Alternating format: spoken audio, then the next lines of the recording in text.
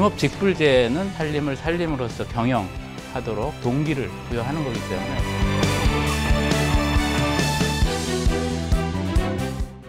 시청자 여러분 안녕하십니까 이슈앤 피플 장영수입니다. 대한민국의 절경하면 어떤 풍경이 떠오르십니까? 사계절마다 옷을 갈아입는 한국의 산을 빼놓을 수 없을 텐데요. 최근에 나무들을 멍하니 바라보는 순멍도 어, 인기를 끌고 있다고 합니다. 또 이맘때면 즐길 수 있는 설경도 놓치지 마시길 바랍니다. 우리 국토의 산을 아름답게 지키고 또 재난으로부터 보호하는 곳이 있습니다. 바로 산림청인데요.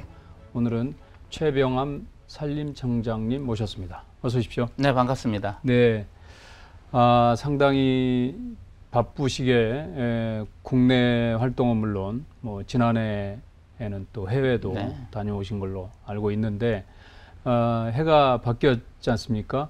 예, 여전히 뭐 우리 살림은 변화가 없을 것 같고 더 보호를 하고 가꾸실 것 같은데 에, 산림청 하면 모르는 국민이 뭐 없겠지만 어떤 일을 하고 있는지 좀 간략히 한번 설명을 하고 넘어가시죠. 네, 아, 우리나라는 그 OECD 국가 4위에 해당되는 그런 음, 산림 비율이 높은 네. 산림 국가입니다. 네, 어, 특히 에, 우리 역사에서는 어, 산림이 에, 많이 망가졌다가 어, 가장 빠른 시기에 복구한 그런 나라로 알려져 있죠. 네, 어, 산림청은 이 산림을 잘 가꾸고 또 보존하고 어, 산림 자원을 어, 풍성하게 만드는 기본적인 일을 할 뿐만 아니라 어, 임업인을 지원을 해서 우리나라 어, 산림의 상당 부분이 또 사유림이기 때문에 이런 분들을 잘 서포팅해서 어, 산림이 지속 가능하게 경영되도록 이렇게 산업을 서포팅하고 네, 그리고 어, 산림에 에, 깃들어 있는 여러 생물 자원을 잘 보호하고 또 여러 가지 산림 재해, 산불 같은 산림 재해도 많거든요. 네. 이런 산림 재해로부터 산림과 아, 국민의 재산과 생명을 보호하고 이런 역할을 하고 있습니다. 네, 특히 최근에는 이제 국제적으로도 어, 산림의 중요성이 에, 굉장히 주- 에, 더 중요해지고 있어서 어, 국제적인 산림 기여 이런 것들이 또 해야 될 큰 일이기도 합니다. 네. 뭐 해가 바뀌었지만 여전히 에, 코로나 19를 벗어나지 못하고 있지 않습니까? 네, 이 팬데믹 시대의 살림의 중요성이 당연히 뭐 많이 커졌죠. 아 그렇습니다. 우리 뭐 청장님으로서는 훨씬 더 어, 그 부분을 더 체감하고 계시고 또 이거를 잘 뭐 활용이 되도록 팬데믹을 극복하는데 역할을 하고 계실 것 같은데 어떻습니까? 어, 이 지구가 직면한 어, 문제가 여러 가지가 있는데 그 중에 지금 말씀하신 이 보건 위기도 굉장히 큰 네, 음, 위기이고 또 기후 위기, 음. 생태 위기, 보건 위기가 사실은 이렇게 연결된 위기입니다. 음. 이러한 거대한 위기를 극복하는 해법으로서 어, 살림을 을 가지고 어, 이 문제를 해결하려는 노력이 국제적으로 이제 자연 기반 해법이라고 말을 하거든요. 네, 어, 그래서 어, 살림을 잘 확충을 하면 탄소도 흡수 능력도 커지고 또 생태 자원도 잘 더 많이 보존이 되고 또 보건 위기도 결국은 어, 숲이 줄어들므로써 이 예, 동물들이 인간 사회와 접촉이 많아짐으로써 생기는 그런 인수 공통 전염병 때문에 생기는 거잖아요. 그래서 네, 이런 산림 자원을 어떻게 전 세계적으로 잘 증식해서 보존을 할 것이냐 이런 문제가 굉장히 중요하죠. 네. 보건 그러니까 삼대 위기가 다 뭐 연결성이 있지만 그 중에 어, 지금 우리가 팬데믹 시대에 살고 있는데 그 보건 위기를 극복하는데 살림이 그만큼 중요하다 아, 말씀을 해주셨고 지난해 이제 해가 바뀌었습니다마는 지난해 이 산림청이 크게 해낸 일 중에 하나가 그 임업직불제라는 거잖아요. 네. 그리고 이제 국회 법안이 통과가 돼서 이게 언제부터 시행이 되고 어떻게 그러면 임업, 임업인들한테 이렇게 혜택이 돌아가는지 설명을 해주시죠. 네, 어, 다행히 작년 11월에 네. 임업직불제법이 통과가 됐습니다. 네. 아, 그거는 임업인들의 수건 사업인데 한 16년 정도 추진했던 어, 사업이 작년 11월에 통과가 돼서 아, 오래 걸렸네요. 올해 음. 에, 올해 10월부터 이제 시행될 음. 예정에 있습니다. 예. 아, 이 임업직불제법은 어, 살림이 가지는 어, 공익적 가치가 굉장히 큰데, 즉 어, 경제 외부 효과죠. 경제 외부 효과가 굉장히 큰 게 이 임업이거든요. 네. 어, 이것을 이 가치를 국가와 사회가 인정을 해줬다. 해줬다. 이런 네. 굉장히 중요한 그런 의미가 있습니다. 실제로 이제 통계로 보면 어, 우리나라 산림 국가임에도 불구하고 어, 이제 산림을 축적한 기간이 이렇게 많지 않기 때문에 한 50년 정도 밖에 안 되기 때문에 네. 거기서 나오는 경제적 가치가 선진국만큼 이렇게 크질 않아요. 어, 한 어, 경제적 가치가 한 8조 정도 되는데 일차 네. 산업 기준으로 그 중에 이제 어, 석재나 뭐 임목 축적분 빼면은 실제로 임업인들이 가져가는 어, 경제적 가치가 한 3조 정도밖에 안 되는데 음. 거기에 비해서 공익적 가치는 221조 원으로 굉장히 크죠. 네. 음. 어, 그 중에 사유림만 따졌을 따지기만 하더라도 한 음. 50배의 그 경제 외부 효과를 내는 거죠. 그런데 그거를 보상을 못 해주고 오히려 이제 세금을 이제 부과를 하기 때문에 에, 국가 전체적으로 봤을 때는 과소 공급, 즉 살림을 경영하려고 안 하는 거고 또 음.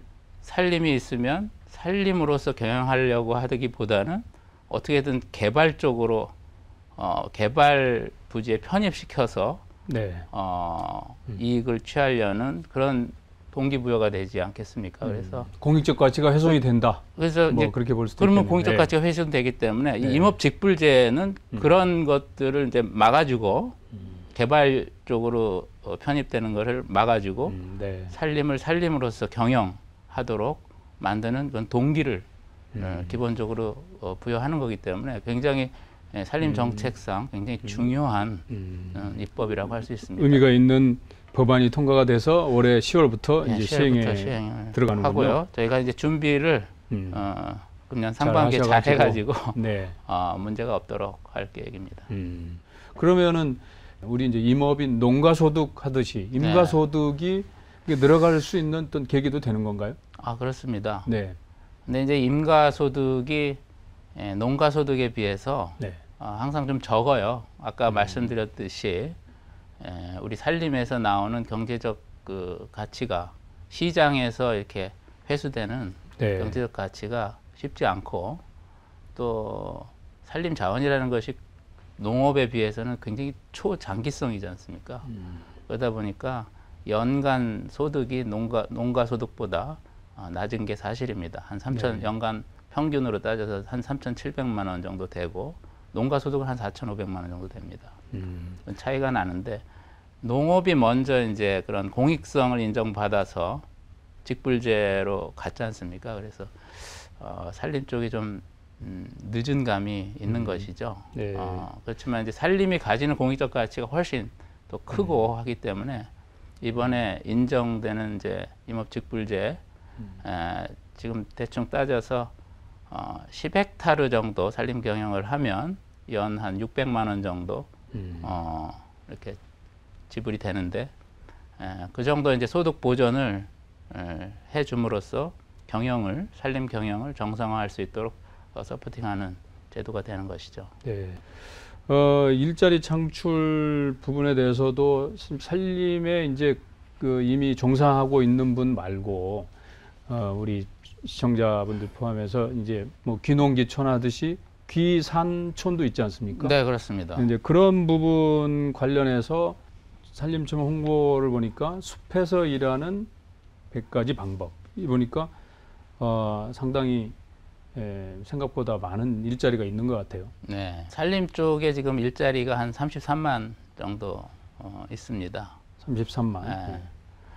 어, 기본적으로 우리 젊은 분들은 이제 어, 안정된 안정되고 고소득의 그 직종, 예를 들면 뭐 산림 쪽에도 이제 에, 공공 음, 기관 네. 이쪽에 좀 관심이 많은 것 같아요. 우리 젊은 학생들하고 이렇게 얘기해 보면 네. 아, 물론 이제 에, 공공 서비스도 강화해야 되기 때문에 저희가 아, 이런 정부 조직도 있지만은 공공기관, 수목원이라든가 어, 치유원이라든가 이런 어, 직접 대국민 서비스를 하는 어, 이런 시설들을 국가라든가 자치단체에서 또 만들고 있어요. 이제 그런 게 이제 기본적으로 이제 일자리가 이제 늘어나는 것이고 네. 그 외에도 이제 에, 살림과 관련한 여러 가지 이제 자격증 제도가 아, 많이 있습니다. 이게 전문가를 이제 양성하려고 하는 건데 네. 에, 최근에 예를 들면은 최근에 만든 그 나무 의사 제도가 있어요. 나무 의사. 아, 예, 네. 한 2년 정도 됐는데 어, 그거는 이제 사람을 치료하듯이 에, 나무를 치료하는 전문가거든요. 네. 그래서 이 나무 의사도 굉장히 각광을 받고 있습니다. 음. 아, 수목의 가치가 아, 굉장히 에, 중요해지고 있고 어, 분재라든가 뭐 조경수는 굉장히 가치가 높은 것들도 많거든요. 음. 그리고 도시에 있는 도시숲은 어, 기본적으로 그 생육 환경이 열악하기 때문에 나무 의사의 도움이 굉장히 필요하고 그 외에 이제 목재 공방도 굉장히 많아지고 있어요. 그래서 그런 목공 음, 목공 교육 전문가 네. 그리고 살림 지도사 뭐 이런 것도 살림을 또 찾는 분들이 많아서 예. 어, 그런 어, 일종의 가이드인데 살림 레포츠 지도사라든지 숲길 가이드라든지 그 다음에 숲에서 교육하는 그런 숲 해설 해설가 숲해설사. 음. 그 다음에 유아숲 지도사 음. 살림 치유 지도사 네. 이런 자격증을 또 굉장히 각광을 받고 있고 그게 물론 이제 에, 청년 일자리라기보다는 이제 은퇴자가 계속해서 살림에서 어, 그런 음, 활동을 할 수 있는 이런 일자리고 또 일부 전문 나무 의사 같은 거는 이제 에, 저- 전문 직종은 네. 이제 젊은 분들도 어, 관심이 많다고 생각이 듭니다. 음. 그 외에도 이제 국제적으로도 산림 협력이 굉장히 에, 늘어나고 있어서 그런 해외의 이제 조림이라든지 에, 사막화 방지 사업이라든지 그런 거 를 이제 전문적으로 manage하는 음. 어, 프로젝트 매니저가 많이 필요하거든요. 어, 올해 에, 산림청이 상당히 그 의미 있는 행사를 어, 앞두고 있는 걸로 알고 있습니다. 바로 어, 15차 세계 산림총회인데 네 그렇습니다. 뭐 코로나 때문에 여전히 또 걱정은 되시겠습니다만은 현재로서는 그 당연히 뭐 교체가 뭐 예정이 돼 있는 거잖아요. 어떤 행사고 어떤 의미가 있는 겁니까? 네, 아, 세계 산림 총회는 이제 6년마다 하는 어, 그러니까 산림 분야의 올림픽이라고 보시면 돼요. 네. 어, 원래는 이제 작년에 에, 하기로 했었는데 이제 코로나 상황 때문에 1년이 연기돼서 어, 올해 5월 2일부터 6일까지 음. 일주일 동안 어, 개최를 하게 됩니다. 서울에서. 음. 어, 물론 코로나 상황이 좀 걱정은 됩니다만 작년에 그 글라스고 회의도 코로나 상황에서도 했었죠. 성대하게 한 네. 거를 봤어요. 저도 거기 네. 참여했고. 네. 그래서 좀 자신감이 생겨서 올해 하여튼 뭐 코로나 상황은 이제 만반의 그 안전장치를 좀 하고 어 그리고 한 160개국 어, 많이 이상의 네. 에, 전문가들 또 어, 정부 관계자 시민 음, 단체 네. 기업가 이런 분들이 많이 오실 걸로 네. 예상을 하고 있습니다. 어, 글래스고 회의 말씀하셨는데 이게 정확한 이름이 유엔 기후 변화 협약 네. 협약 당사국 총회였지 않습니까? 근데 그때 정상들 그 세션 중에 하나가 바로 산림이었다면서요? 그렇습니다. 그만큼 어, 산림이 중요하다는 얘기인데 어떤 성과가 있었습니까? 아, 아까도 말씀드렸듯이 네. 전 세계적으로 이 3대 위기를 네. 극복하는 하- 한 가지 수단으로서 산림을 어떻게 인류가 관- 잘 관리해 나가고 또 복원해 나갈 것인가. 네. 아, 이게 굉장히 중요한 음. 이슈가 됐습니다. 아, 작년 11월에 글라스고에서 어, 기후 회의에서 산림이 이렇게 에, 중요하게 다루어진 회의는 없었던 것 같아요. 그 전에 네. 정상 세션 중에 한 세션이 이제 살림 그러니까요. 전문 음. 세션이었고 또 어, 전 세계가 음, 2030년까지 살, 전 세계 살림 감소를 막기로 어, 합의를 했습니다.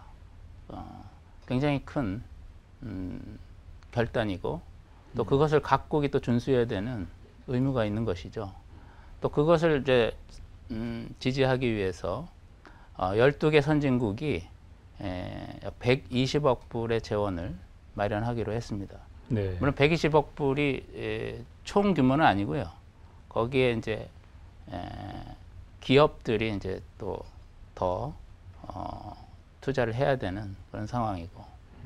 상당한 그다음에- 성과가 있었군요. 예, 네. 그리고 또 더 중요한 게 이제 레드 플러스라고 열대림 보존을 위한 그런 어, 법적 장치도 어, 마련이 됐습니다. 네. 그 레드 플러스는 이제 에, 후진국 어, 열대림 국가의 열대림을 보존하는 사업을 이제 선진국이 할 경우에 탄소 배출권을 나눠 가질 수 있는 아, 그런. 아, 음. 법적 체제, 시장 메커니즘을 을 만들었기 때문에 더 활발하게 일어날 것으로 어, 그 산림 보존 활동이 일어날 것으로 예측이 되고 특히 에, 우리나라 정상께서 어, 음. 대통령께서 참석하셔서 우리나라의 어떤 기여 그동안 산림 복구를 한 경험, 음. 기술 그리고 최근에 해외에서 이제 사막화 방지 사업을 한 실적 어, 이런 걸 기반으로 어, 전 세계 산림 음, 보존과 복구에 기여하겠다 하는 말씀하고 특히 에, 북한의 산림 복구 문제를 음, 네. 한반도의 그 음, 탄소 감축과 연계해서 음, 복구해 나가겠다 하는 음. 그런 의지를 제가- 네. 표명하셔서 어, 굉장히 뜻깊고 의미 있는 회의였습니다. 네. 어, 산림 재해가 뭐 산림이 워낙 큰 규모다 보니까 재해 규모도 큰 것 같아요. 이게 이제 기후 변화 이 기후 변화 때문에도 어, 더 많이 발생하고 이 자연 재해죠. 커지는 것 같은데 이 부분에 대한 이거를 좀 줄이고 막는 계획들이 지금 어떻게 뭐 진행이 되고 있습니까? 네, 산림 재해는 뭐 어, 산불이라든가 산사태 숲이 없어질 일시에 없어지는 문제는 어, 기후 위기에도 막 바로 어, 영향을 미치죠. 네. 전 세계적으로 엄청난 산불이 가면 갈수록 나고 있습니다. 네. 아, 미국이라든가 그렇죠. 러시아, 호주, 예, 유럽도 엄청난 산불이 예, 나고 지난해 있고요. 특히 뭐 상당 상당한 예, 일년에한 산불 3억 규모가 헥타르씩 3억 헥타르. 어, 네. 소- 산불로 손실이 된다고 합니다. 우리나라는 어, 굉장히 집약적으로 산불을 관리를 하고 있습니다. 아, 1년에 그래도 한 500건 정도 산불이 난다고 보시면 되고 한 1000헥타르 정도 피해가 1000 헥타르. 아, 음. 난다고 평균적으로 난다고 보시면 되는데 물론 이제 2000년 동해안 산불이 가장 큰 네. 피해가 났던 때였습니다. 2만 3천 헥타르가 넘었으니까요. 하- 한 해에. 네. 어, 지금 많이 줄였는데 점점 갈수록 또 기후 어, 변화 때문에 산불의 빈도가 높아지고 있어요. 그래서 이 산불 관리를 위해서 어, 뭐 헬기 자원이라든가 어, 산림청 헬기뿐 아니라 어, 자치단체나 유관기관 헬기 자원을 확충하고 음. 또 어, 진화 대원들도 한 2만 3천 명 정도 관리를 하고 있는데 그 전문성도 높이고 특히 ICT 기술을 통해서 이 상황을 빨리 캐치하고 어, 여러 기관들이 한 기관만 어, 통제할 수 통제하면 되는 게 아니라 여러 기관이 동시에 움직여줘야 되거든요. 그래서 그런 어, 기관 간의 협업 체제 이런 거를 어, 신속하게 하기 위한 그런 정보 기술 네. 또 진화에서도 뭐 드론이라든가 어, 첨단 기술을 활용한 어, 그런 진화 기술 이런 것들을 계속해서 발전시킬 그런 계획이 있습니다. 네. 최근에는 이렇게 조깅하면서 쓰레기를 줍는 플로깅 뭐 이런 거. 그러니까 어 아까 이제 자연재해가 뭐 산림을 많이 뭐 훼손하지만 사실은 등산객들이 담뱃불로 이렇게 그 화마를 만드는 경우도 뭐 있지 않습니까? 네. 그런 등산객들의 에티켓 청장님이 생각하는 건 어떻습니까? 아, 우리나라 분들이 등산을 참 좋아하죠. 예. 예로부터 어, 산과 함께 살고 있는 민족이라고 말할 수 있습니다. 네. 근데 옛날에 우리 조상들께서 산에 갈 때는 절대로 불을 갖고 들어가지 않고 찬 음식을 먹었던 음. 산에서는 그런 음, 전통이. 지혜가 있었네요. 예. 그것은 산을 굉장히 소중하게 음, 생각하고 음, 어, 숭상했던 음. 그런 정신이 있는 거죠. 어, 요즘 젊은 분들이 또 MZ 세대들이 산을 많이 가고 또 어, 비박도 하고 차박도 하고 이렇게 즐기는 분들이 많은 것 같아요. 즐기는 건 좋은데 음. 에, 산에서 또는 산 주변에서 불을 다루는 행위는 특히 위험한 이 산불 조심 기간에는 특히 예, 하지 말아 주실 것을 당부드리는 거죠. 네. 탄소 중립 시대 산림청 어, 향후 어, 어떤 방향을 가지고 가진지 마지막으로 여쭙고 어, 마무리하도록 하겠습니다. 아, 예. 탄소 중립 이슈는 뭐 국가적으로 굉장히 중요하고요. 네. 어, 전 세계적으로도 중요하죠. 그래서 세계 정상들이 합의한 사항이고 어, 우리 정상께서도 2018년 기준 어, 탄소 배출을 40% 감축하겠다고 공언을 했고 네. 어, 그것을 하기 위해서 이제 각 분야가 뼈를 깎는 개혁 이런 노력을 해야 되겠죠.